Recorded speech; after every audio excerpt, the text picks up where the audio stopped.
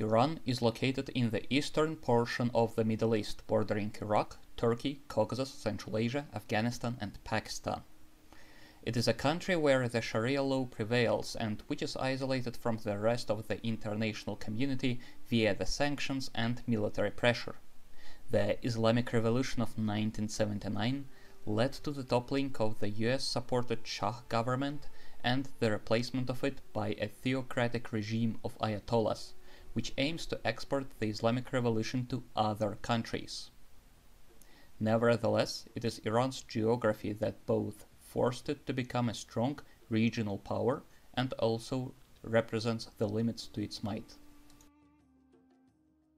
This is Geography and Economics and thank you for watching. Iran's most unsafe and unstable frontier is its border with Iraq.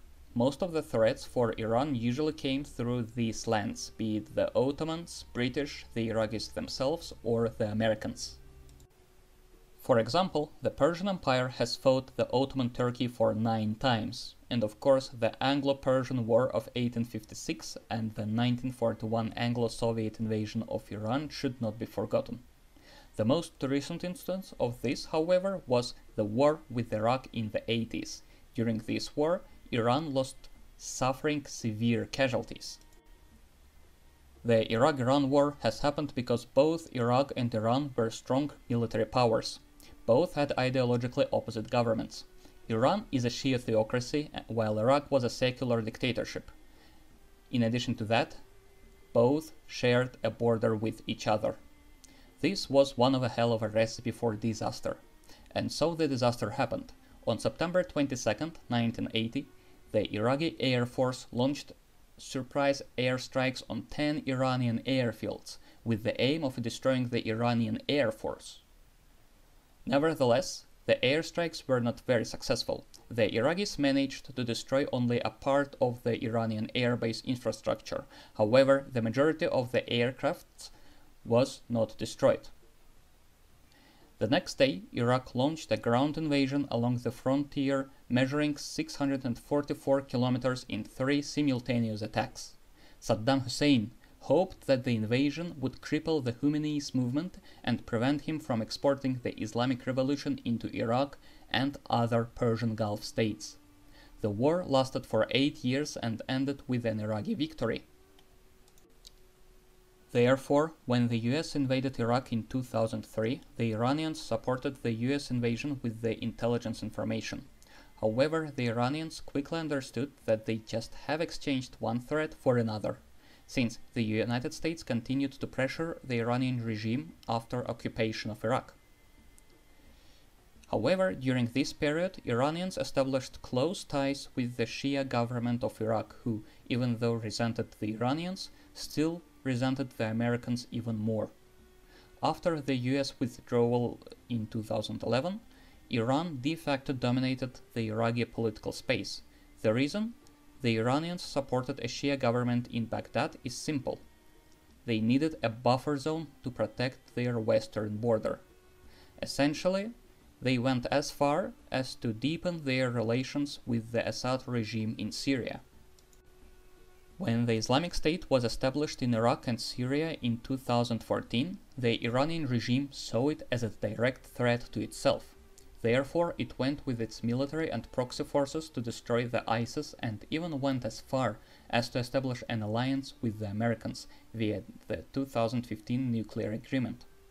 By the time the ISIS was defeated in 2018, Iranian sphere of influence stretched all the way through Iraq into the Mediterranean. Iraq is currently divided amongst the pro-Iranian forces, and the Assad's success in Syria has largely happened thanks to the Iranian support. In the neighboring Lebanon, pro-Iranian Hezbollah has come to be dominating the government. This is modern Iran's peak of power.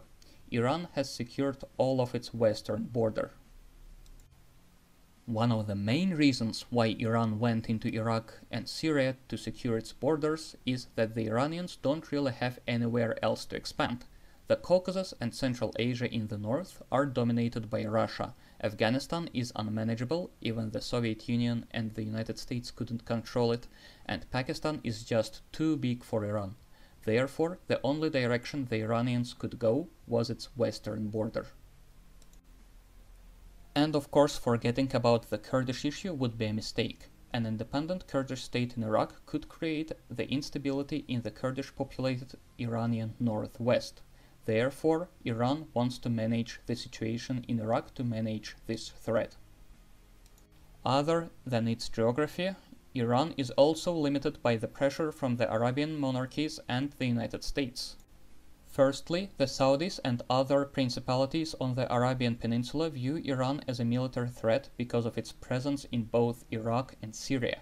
If the Iranians would establish an absolute military dominance over Iraq, they would be able to threaten the Saudi control over the oil-rich Shia province of Qatif.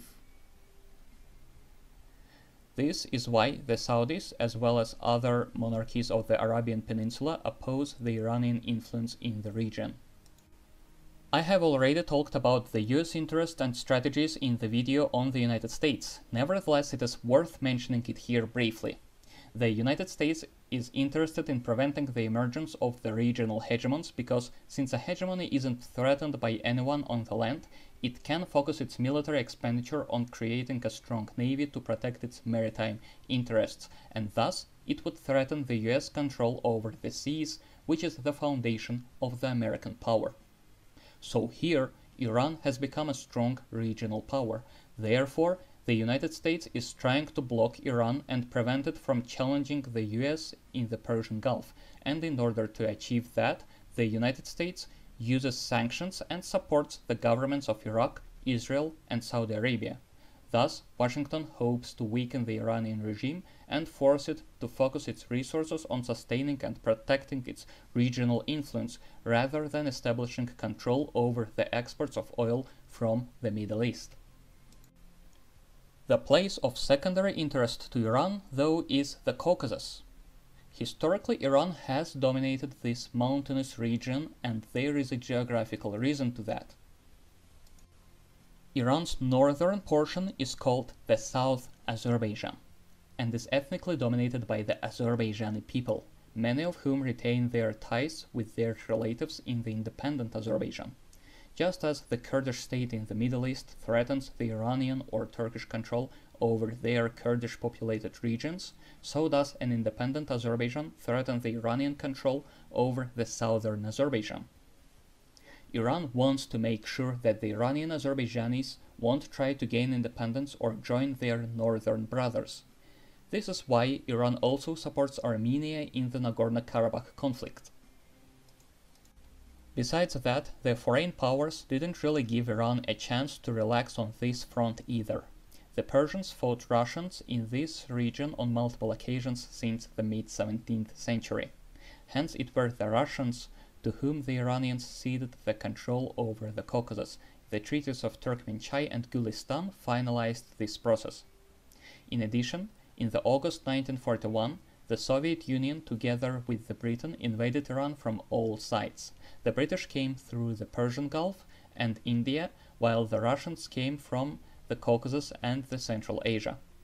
This event once again emphasized Iranian need for a strong buffer space to protect not only its western border, but also the border with the Caucasus. However, currently, the Iranian options in the Caucasus are limited because the region is dominated by the Russians, who retain the strong influence over the region.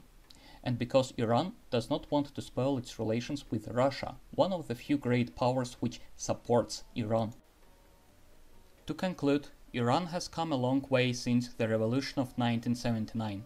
Despite the international pressure and hard access to the foreign capital, Iran has extended its influence across the region into the Iraq, Syria, and Lebanon. However, Iran cannot project its power north since it would spoil its relations with one of its few allies, Russia.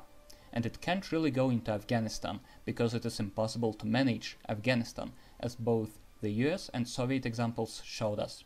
Despite all of that, the Iranian regime must sustain its regional influence while observing the US and Russia closely and managing its control over its diverse population.